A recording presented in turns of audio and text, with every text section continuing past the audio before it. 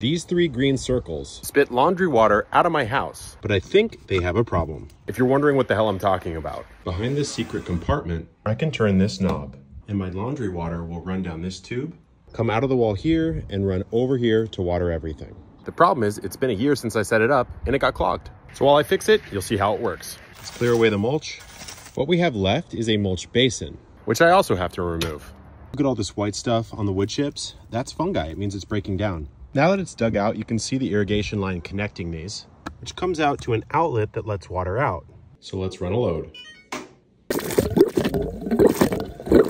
You can see how the water fills the basin and sinks in. Now that I've unclogged it, I have to fill the basin up with more wood chips. We want to fill the basin with wood chips, not soil. Try to use undyed chips. Fill it up and level it, and now you have a perfect gray water basin that'll water something like an artichoke on autopilot.